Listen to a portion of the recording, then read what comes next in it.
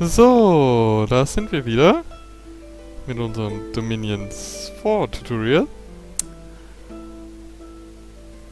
Was wir haben ist Tianchi und ich werde jetzt erstmal über das User Interface gehen. Ähm, hier oben in der Mitte seht ihr die Treasury, das ist äh, Gold, logischerweise, äh, wie viel Gold wir pro Runde einnehmen mit dem Total Income und der Upkeep, wie viel unsere Truppenunterhalt kosten. Hier drunter sieht man die magischen Steine, die wir im Moment haben, mit denen die Zauber gesprochen werden. Wenn man da drüber fährt, sieht man, wie viel man pro, Mon pro Monat bekommt.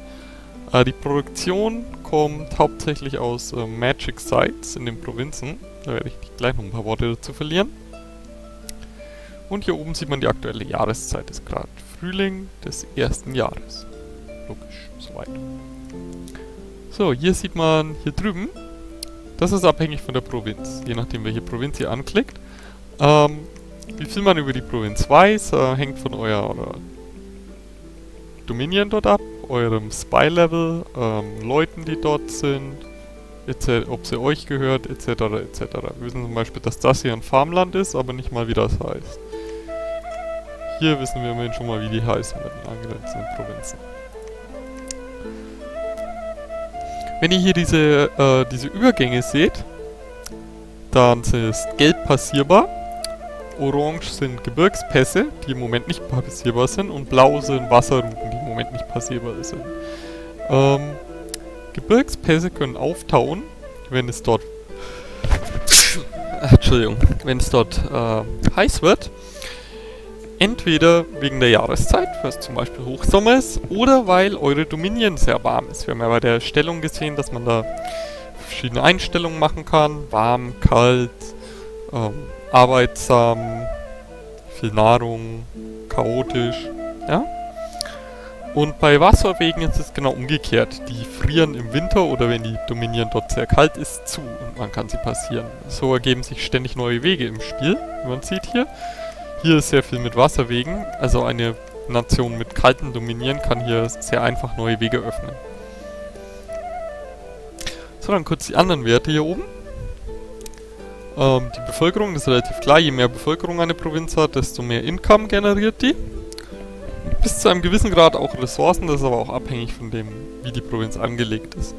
Hier sieht man die Beschaffenheiten der Provinz. Hier zum Beispiel Border Mountains, Low Income, Excellent Resources. Ja. Swamp, very low income hinders movement.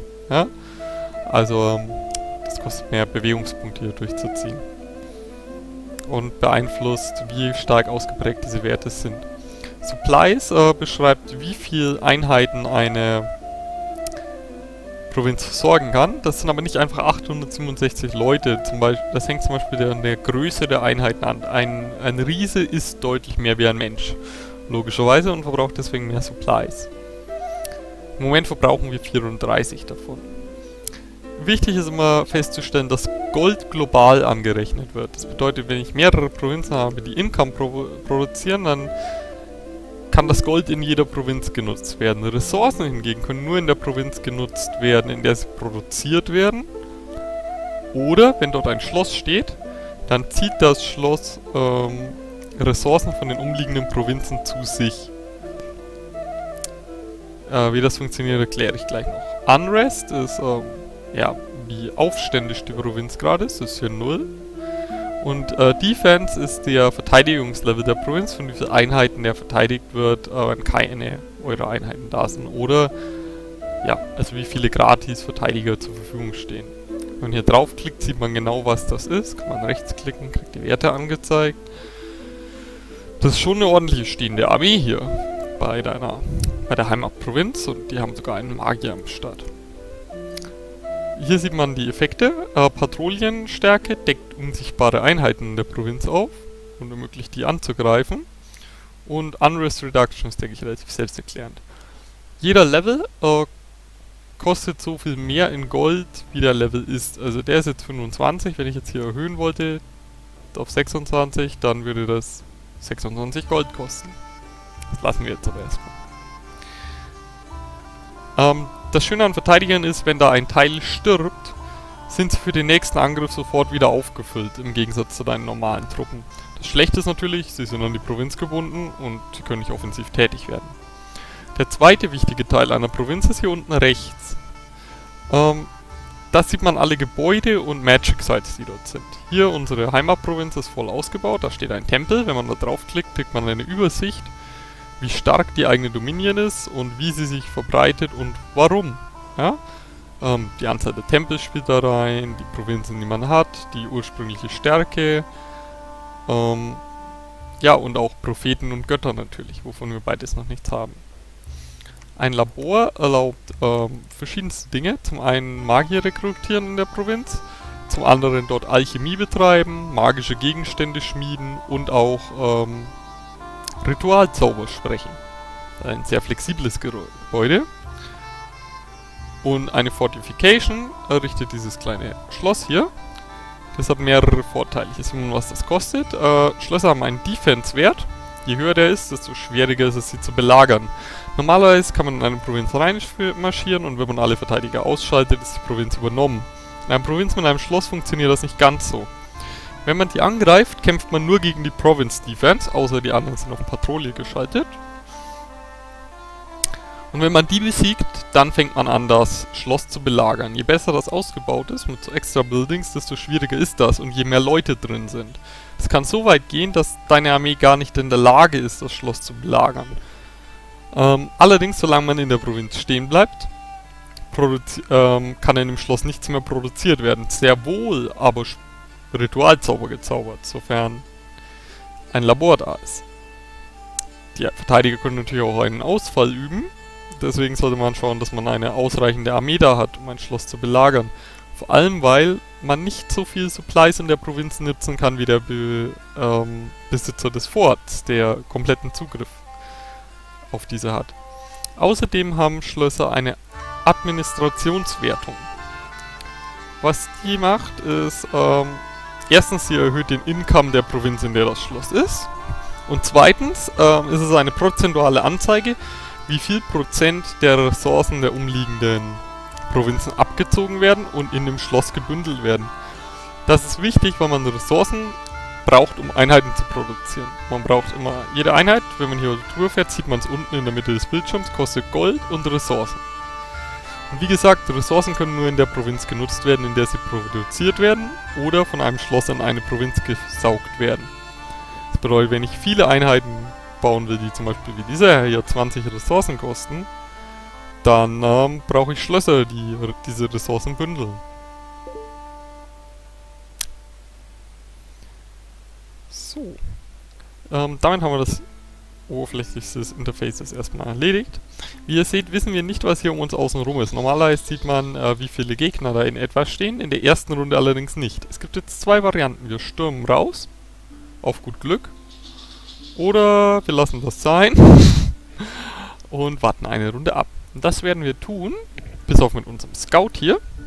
Wie ihr seht, ähm, steht hier Sneak. Das bedeutet einfach, jede Einheit, die eine Stealth-Wertung hat, kann in Provinzen hineinschleichen, ohne dort attackiert zu werden oder anzugreifen.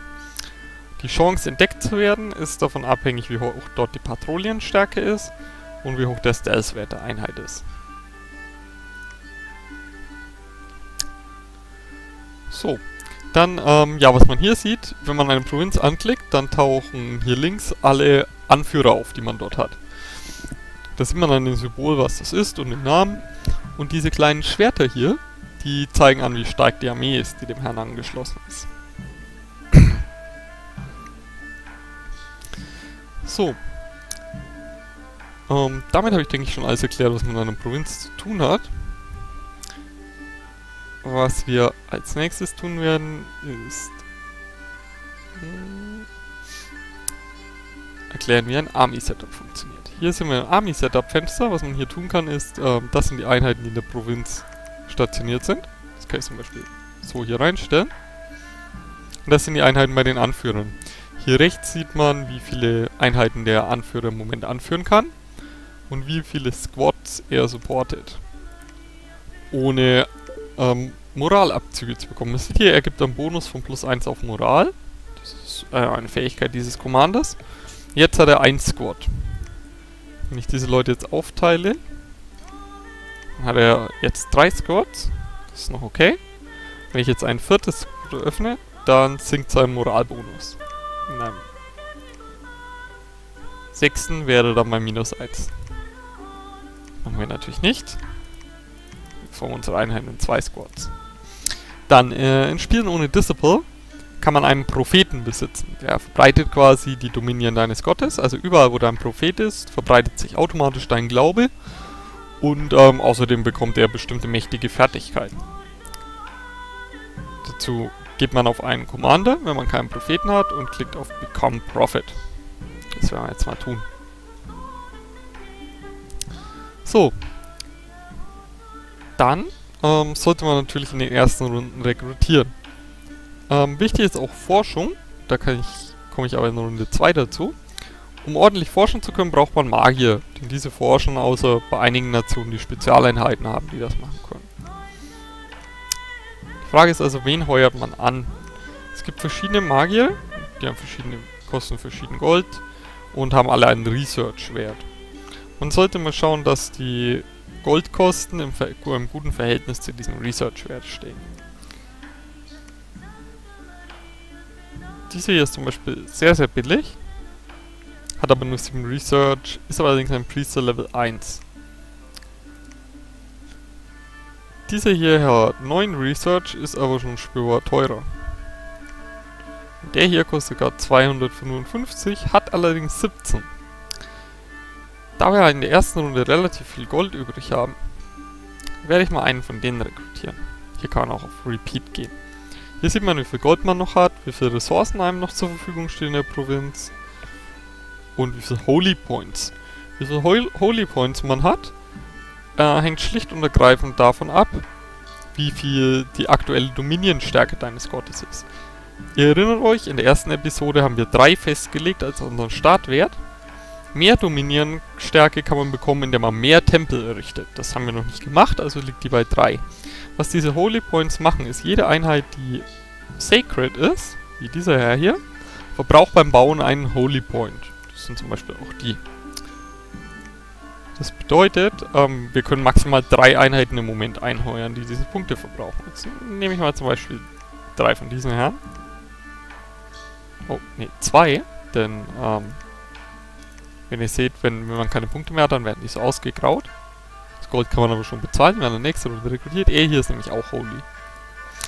Ähm, Sacred Sign ist relativ gut, denn was Sacred Sign auch macht, ist die Upkeep-Kosten sehr niedrig halten. Ich versuche das mal zu vergleichen. Die sind leider, glaube ich, alle Sacred hier. Ja. Hm, nehmen wir mal diese zwei Einheiten. Diese, normalerweise hängt ähm, der Upkeep eine Einheit von ihren Goldkosten ab. Also dieser Kerl hier kostet 26 Gold. Kostet 10 Gold pro Jahr. So, jetzt nehmen wir mal diesen Herrn hier. Der kostet 20 Gold und ist nicht Sacred. Der kostet 16 Gold pro Jahr. Normalerweise sollte aber der Upkeep von dem mit 26 Gold höher sein. Das liegt daran, dass ähm, Sacred-Leute äh, einen halbierten Upkeep haben, da sie loyal zu einem Gott sind. So, außer diesem Typen hier werden wir jetzt mal noch ein paar Bogenschütze anheuern. Davon können wir relativ viele anheuern, nämlich.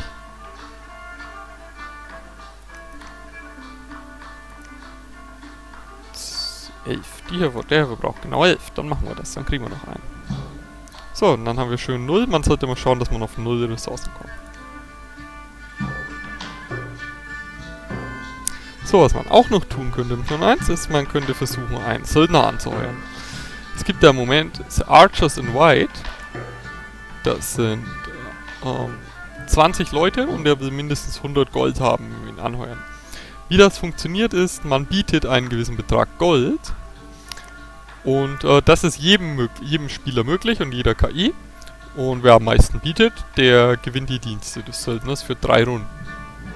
Wir werden das jetzt mal ausnahmsweise sein lassen. Ach ja, äh, Magic Sites. Ist es so, dass äh, in der Heimatprovinz braucht man diese nicht suchen. Da gibt es immer ein paar vorbestimmte, je nach Nation. Magic Sites geben immer bestimmte Boni für die Provinz. Das hier erlaubt uns zum Beispiel die Master of the Five Elements und die Warrior of the Five Elements zu rekrutieren, die wir gerade schon gesehen haben. Und das hier produziert all diese Gems, wenn ihr euch fragt, wo die herkommt. Und erlaubt uns ähm, Astralrituale, die hier gewirkt werden, eine Provinz weiterzuwirken. Erhöht also die Reichweite unserer Zauber. So, damit ist erstmal grundsätzlich klar, wie das Spiel abläuft, denke ich. Jetzt beende ich mal die, den Turn. Der Noble hat nichts zu tun. Ups, ich habe den aus Versehen wieder abgeschaltet. Gut, dass ich diese Warnung anhabe. Sonst ist es dumm geworden. So. Dann gibt es ähm, am Beginn der nächsten Runde immer hier die aktuellen Ereignisse. Das sind jetzt eine Menge Leute, die erklären, wer ihre neuen Propheten sind. Und wie ihr seht, jetzt sehen wir, wer da so um uns außenrum steht. Hier oben stehen nur 8 Gegner Allerdings kommen wir da leider nicht hin, denn da ist der Mountain Pass. Und wie ihr seht, hat sich unsere Dominion hier verbreitet. Das sind jetzt zwei Kerzchen. In unserer Hauptstadt sitzt normalerweise immer noch nur eine. Ich bin nicht ganz sicher, in welcher Provinz dieser Thron ist. Wahrscheinlich hier, das sind 50 Gegner. Hier sind auch 50 Gegner. Ach, gar 80 Gegner. Das ist alles ziemlich stark. Also laufen wir mal weiter und klären hier ein bisschen auf, ja? Schauen wir mal. Gehen wir in unser Army-Setup. Wir haben hier ein paar neue Soldaten. Diesen Herrn. Diese zwei Herren. Und unsere Bogenschützen. Jetzt haben wir insgesamt 41 Gegner. Wenn das wirklich nur 50 sind, können wir die besiegen. Aber davon bin ich nicht so überzeugt. Andererseits ist hier unser Spion, sieht man an dem Auge. Das heißt, über diese Provinz hier wissen wir am besten Bescheid. Da ich nicht ewig warten will, nehme ich jetzt mal das Risiko in Kauf, dass wir umgenatzt werden. Und nutze die Gelegenheit, um noch zu zeigen, wie man eine Armee auf ein Gefecht vorbereitet. So, hier haben wir jetzt also unseren Gunse Noble. Wenn man ihn anklickt, sieht man, der Mann ist jetzt Prophet.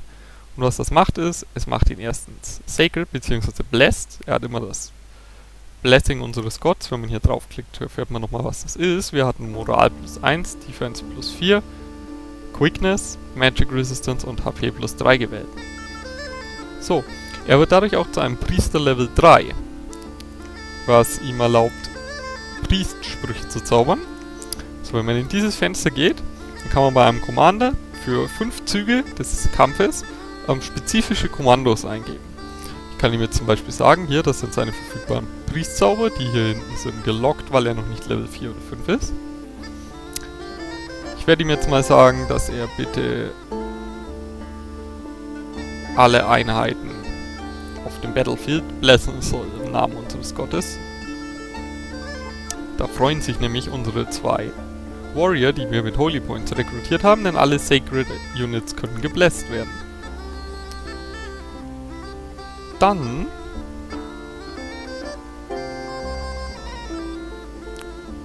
zaubern wir Ceremon of Courage. Wenn man rechts klickt auf den Spell, bekommt man eine Beschreibung, die Reichweite, die Größe des Effekts hier und äh, wie genau er an dem angezielten Ort landen wird und wie viel Ausdauer das unseren Herrn kostet. Was das macht, ist, das erhöht unsere Moral und danach kann er mal ein bisschen lossmiten. Das ist ein Angriffsspell. So, was wir jetzt machen ist, wir machen eine neue Aufstellung unsere Nahkämpfer, die stellen wir hier vorne hin. Hier kann man verschiedene Formationen wählen. Das machen wir im Moment allerdings noch nicht, denn äh, Formationen kosten Moral. Wir werden also einfach in einer Box herumlaufen und das Beste hoffen. Unser Prophet, der kommt etwas dahinter. Warum stelle ich ihn hier hin? Ganz einfach. Ähm, er wird Blessing, Divine Blessing wirkt auf alle auf dem Battlefield.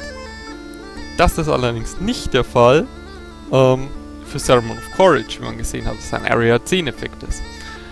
Was er wahrscheinlich tun wird, ist die nächste Einheit, die am nächsten an ihm dran ist, mit Ceremon of Courage anzuvisieren, um auch noch sich selbst zu erwischen. Ich stelle ihn also möglichst nah zu unseren Nahkämpfern, damit die ihre Moral erhöht bekommen und nicht unsere Fernkämpfer, die eher unwahrscheinlich sind, im Nahkampf zu landen, hoffentlich. So. Was man dann noch machen kann, wenn man diese Befehle eingegeben hat, ist ihnen am allgemeinen Befehl geben, was er denn tun soll, wenn er damit fertig ist. Dann nehmen wir hier mal Cast Spells. Für normale Einheiten kann man nur so einen allgemeinen Befehl einstellen. Das sind unsere Nahkämpfer, die werden jetzt einfach mal auf den nächsten Gegner zustürmen. Und unsere Fernkämpfer hier, die werden feuern. Und zwar auf gegnerische Bogenschützen. So, Wie ihr seht, unser ähm, angeheuerter Forscher, der sehr, sehr viele Magic-Pfade hat, kann beherrscht eine Menge verschiedener Magiearten, die wir gesehen haben bei unserem Gott. Das ist quasi die kleine Version. ist automatisch auf Research gestellt. So, jetzt stellt sich die Frage, was bedeutet Research? Research ist das hier. Ihr seht jetzt die 16 Punkte. Ihr fragt euch, warum 17, nicht 17 wie angezeigt? Ne, 16. Wir haben hier ein Drain. Ihr erinnert euch, wir haben bei unserem Gott äh, Drain 1 gewählt. Was bedeutet, dass wir einen Research Point weniger haben. Von jedem Magier. Das ist nicht schön, aber das lässt sich nicht vermeiden. So. Research kann man hier punktgenau einstellen auf all diese unterschiedlichen Magic-Pfade. Ich werde nacheinander darauf eingehen, was die denn so machen. Als allererstes hier werden wir mal Conjuration Und zwar bis Level 2. So. Am Anfang eines jeden Spiels sollte jeden Zug irgendein Magier rekrutiert werden, der es enorm wichtig ist, ähm, in der Forschung mithalten zu können. Dann nehmen wir wieder zwei hiervon. Und dann habe ich jetzt beschlossen, dass wir noch einige Archer haben sollten. Und ein paar dieser Herren. Na.